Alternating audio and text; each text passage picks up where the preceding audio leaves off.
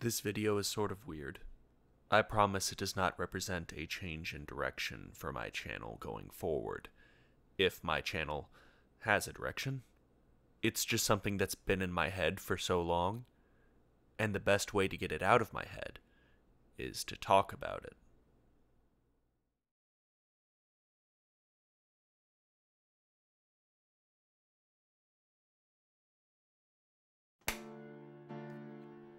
Hi, this is going to be a more casual video, as you can tell because I look like shit. For some reason, my idea of a casual video is um, an attempted fascist takeover of the United States.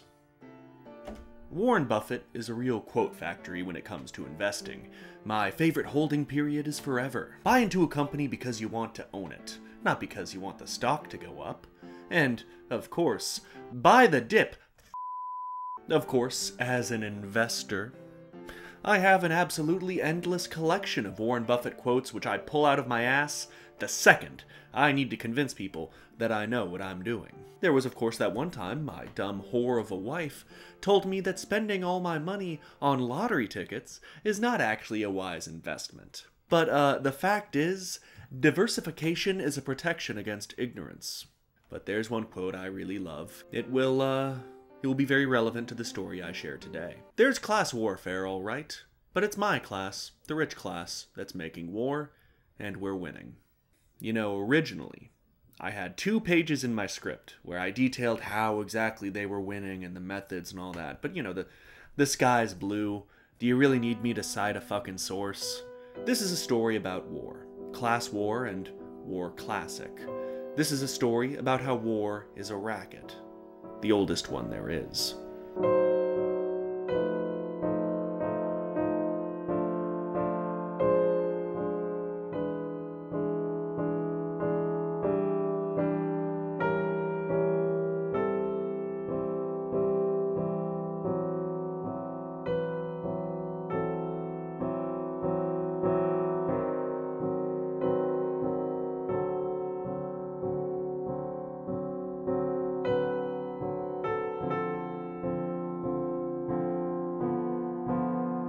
Want you to imagine something. At the age of 17, you're sent to war in Europe to fight what you were told is the war to end all wars. You lose your legs to a German mine and your virginity to a French whore. You come back home, having been told that you made the world safe for democracy, but you struggle to feel safe in your own house at night, as the trenches of the Somme and the trench between the French whore's legs haunt you while you try to sleep. A great war is followed by a Great Depression, you ain't got no legs and no money.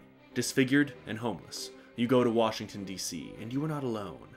You are joined by 20,000 other disgruntled World War I veterans. You all camp at the outskirts of the city, demanding that the bonuses you were told you would be paid in 1945 instead be paid now. The federal government says no. Then the army shows up, chases you off, and burns down your camps. What do you do next?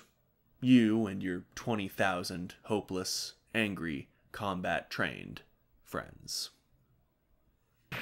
We interrupt this program to bring you. This video is sponsored by Surfshark VPN, and honestly, I have a history with VPNs. I used to be stationed in Turkey as a tactical femboy, and while there, I could not access Wikipedia. This blocking of the internet's greatest repository of knowledge was obviously ridiculous and unethical. But using a VPN, I could get around it, so I could enrich myself with knowledge on the production process of Boss Baby. Later, when I was stationed in Germany, I used a VPN to get around region locking, so I could watch season 8 of Game of Thrones because HBO Go was locked to America. Now, I know what you're thinking. Can you use a VPN to watch good shows that are region locked as well? Yeah, you know, theoretically, I haven't tried. Oh, but you're American, you say. None of this based and red pilled circumventing of government regulations is relevant to your daily life, of dunking on Eurotrash and eating food filled with chemicals Europe has banned. Well, guess what? America's getting sketchy. I don't know how to tell you this. The FBI now flags you if you use terms like Chad or Stacy, because that apparently makes you liable to commit incel terrorism. Your tax dollars at work, ladies and gentlemen But by using Surfshark VPN, you can call people Chads to your heart's content, the way our founding fathers intended. Surfshark VPN has over 3,200 servers in over 100 countries, and I promise that at least one of those countries will let you call people Chad without putting you on a list, breaking down your door, and calling you a virgin. Browse the internet the way it was meant to be used, unrestricted, untracked, and privately. Get 83% off and 3 months for free by using discount code Cobbler or clicking my link in the description. Thank you Surfshark VPN for sponsoring this video. Smedley Butler. At the age of 16, I took three of those gas station boner pills at once to see what would happen. But that's not relevant to the story. When Smedley Butler was 16, he enlisted in the Marine Corps and was swiftly sent to Cuba to fight in the Spanish American War. The Spanish American War is one of those wars we just sorta don't talk about, mostly because we won pretty easily and it was started for a reason that no one really gives a shit about anymore. The conflict started because the Spanish sunk a US ship off the coast of Cuba. I'm going to give you a very rough recounting of Butler's time in the Marine Corps, but if there's one thing that you leave this Trapes through his life with, it should be the knowledge that he did right by his men, and was damn good at his job.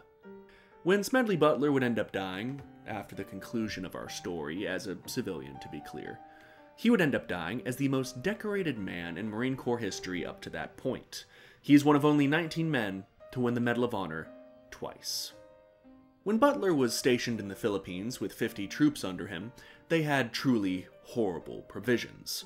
As far as I'm aware, there was nothing to eat but hardtack, hash, coffee, and tactical femboy dick. Truly dire circumstances. After Butler's requests for better provisions were repeatedly ignored by the Navy higher ups at a base nearby, Butler set out to the base in a small boat before a typhoon suddenly appeared, nearly capsizing his ship and almost drowning Butler. But Butler would fight through the storm and return with vegetables and beef for his men, after having fought Mother Nature herself, as well as, perhaps even more frighteningly, Navy officers who did not give a shit what some Marines in buttfuck were eating for supper. That's a fun and uplifting story, isn't it? It's the last one in the video. Butler later in his career would install American friendly regimes in Nicaragua and Haiti, even going so far as to rig an election in Nicaragua. It was these events which took a toll on Butler, instilling in him a deep disillusionment of the US military and its role in the world. Butler would eventually find his way to France during World War I, far later in his career, but he would not see the front lines. Butler got promoted at this point to brigadier general and found himself in command of Camp Pontanezen, a miserable camp with deplorable living conditions. Camp Pontanezen was where American troops and supplies would enter and leave Europe, and was therefore two things simultaneously. Number one, it was a place of immeasurable importance to the war effort. Number two, it was a hellfuck muddy nightmare place where hope died. Butler did not want to be in charge of a huge camp which was falling apart miles from the front. Butler wanted to be in the trenches, that's just the kind of guy he was.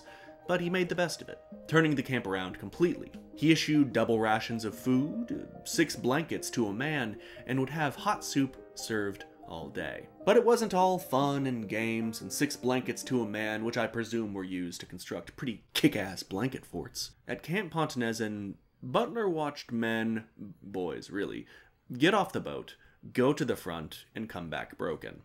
For the first time in Butler's long career, he had a bird's eye view of war, and it was the most brutal war in human history. Years later, Butler would remark on the experience. Gradually, it began to dawn on me to wonder what on earth these American boys are doing getting wounded and killed and buried in France. Butler's last overseas deployment in his career would be during the Civil War in China between the very fun to say Chiang Kai shek and Mao Zedong. And the last great deed that Butler performed for his country was saving an American Standard Oil refinery from a fire.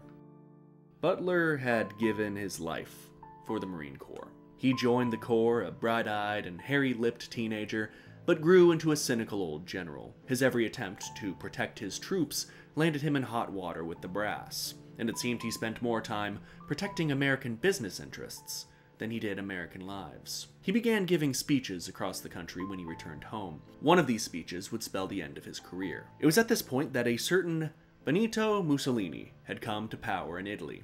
Fascism, as an ideology, rose to prominence with him. Butler, while giving a speech, shared a story he'd heard from a close friend that had ridden in a car driven by Mussolini through the Italian countryside. Mussolini had driven over a small child, goes the story, causing the passenger to scream in horror. At this point, Mussolini turned to the passenger, put his hand on his knee, and said, Now, now, what is one death in matters of state? Now, of course, that story is not true. Mussolini said something else after he ran over the child. Italy was, at the time, friendly to America. So, a high ranking Marine general saying their leader ran over children caused an international incident. However, I think if the same thing happened today, uh, like no one would even care. The chief of staff could literally say that Justin Trudeau fucks dogs and no one would care. Butler would end up getting court-martialed due to these public comments, but the charges were dropped due to bad publicity. He was something of an American hero, as I'm sure you can imagine. But it was during this debacle he decided, finally, after over 30 years of service to the Marine Corps, to retire. But you've probably already figured something out about Smedley Butler. This is a man that loved to fight. He just began to think he was fighting on the wrong side.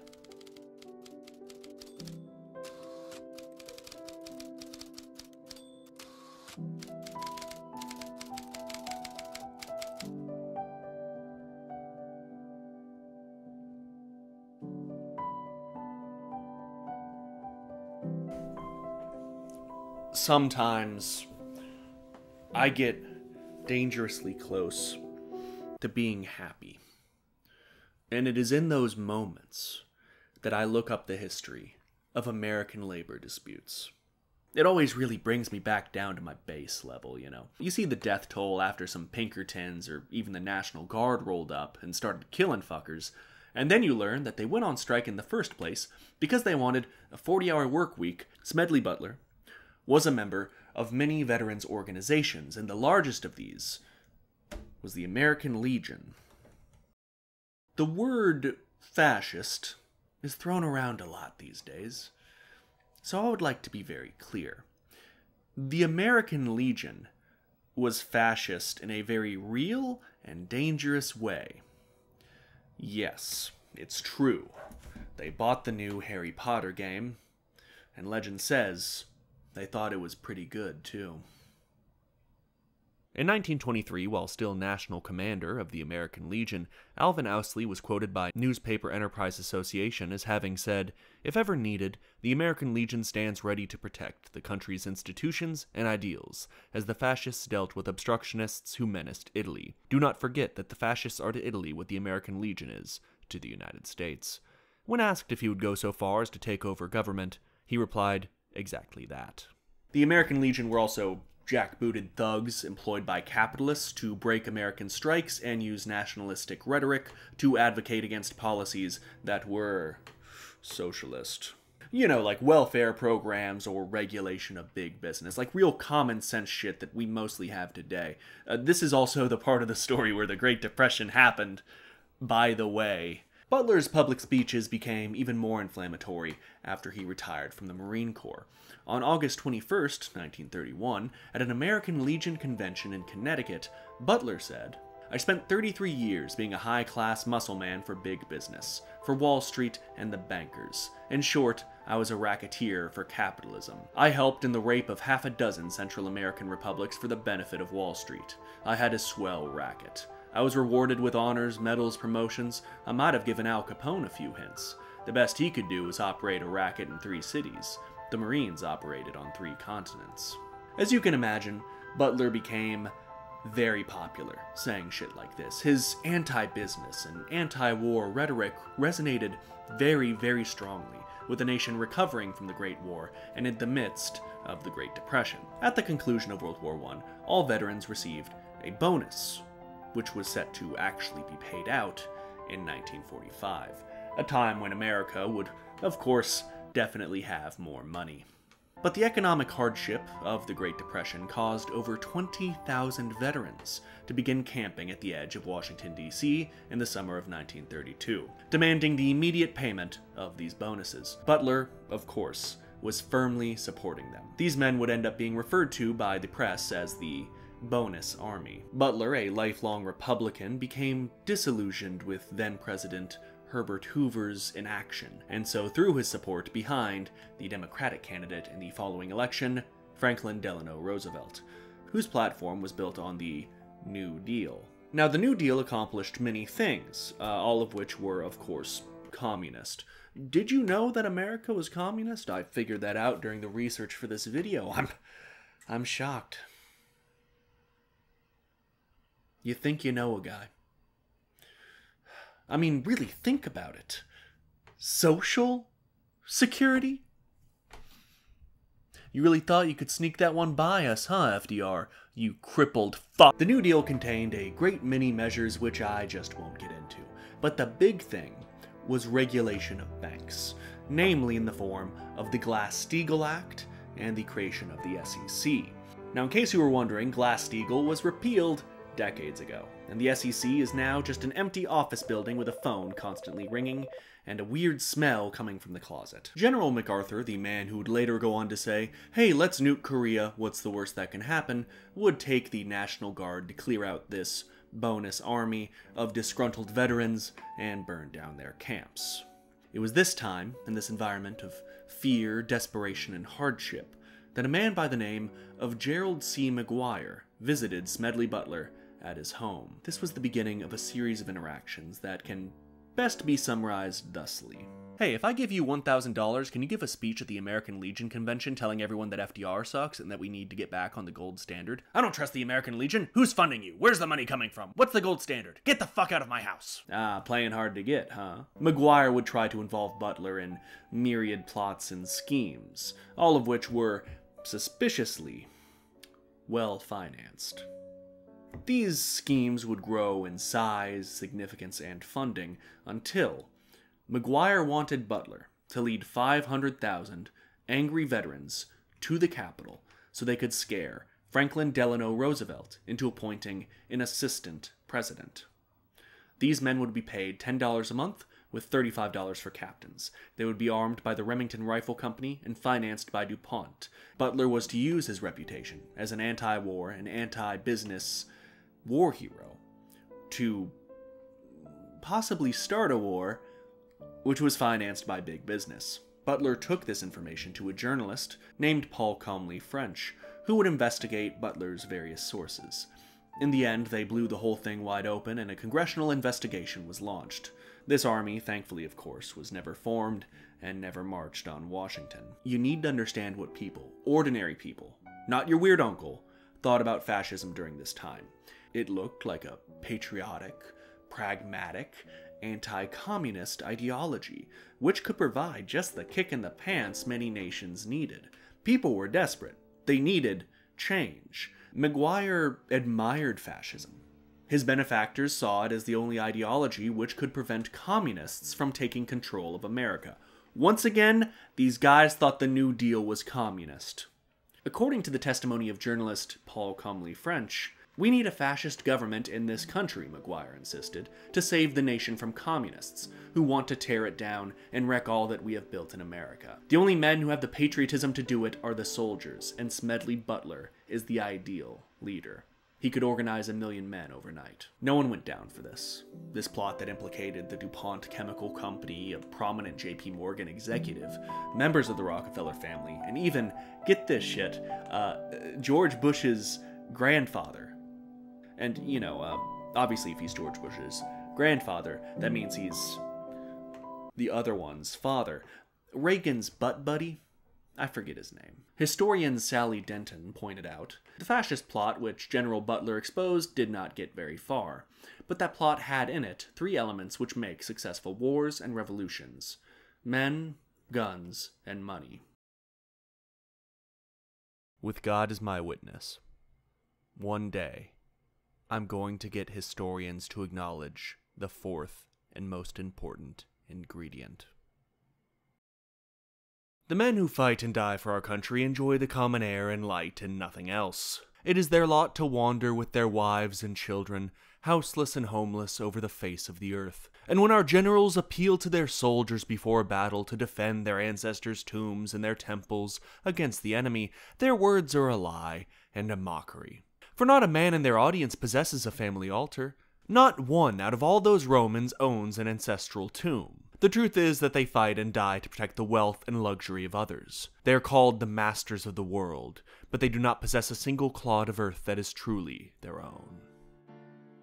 During the fall of the Roman Republic, a great topic of controversy was land reform. You'd leave your small farm and go fight abroad, and you'd return to find your wife couldn't manage it on her own because women. and it was, you know, bought by some rich fucker who stayed home. This was a profane act. Every civilization has this collective, like, ideal citizen. In the Roman Republic, that citizen was a small farmer, self reliant, disciplined, intelligent, but like in a practical, grounded way, not in a gay Greek way. Gay? Yeah, this was a consolidation of wealth by a small minority who didn't need any more. But it was also an attack on sort of the Roman spirit. Slaves were, of course, also brought back from the great military victories, slaves that would be put to use on these large farms owned by a wealthy elite. These slaves took jobs from the lower Roman classes across the board. What is not talked about enough is that Rome expanded at the expense of the common citizen. Roman expansion diluted the collective power of labor, opened new marketplaces and trading opportunities for the wealthy, and would lead directly to a slow drain on what little middle class existed. When Carthage is burned, its population enslaved, its wealth plundered, who benefits? Who truly stood to gain the most from the loss of such a massive mercantile empire? War is a racket. It's the oldest one there is. Tiberius Gracchus, the man who gave the speech that I read at the beginning of this segment, was a Roman general and senator who, on campaign, saw the countryside being sold out beneath the feet of the very men who fought under him. He tried to pass land reform, and for this act he was assassinated, his head was chopped off, and he was thrown into the Tiber. Then his brother tried the same thing, and you get it. But of course, land reform was eventually passed by Julius Caesar.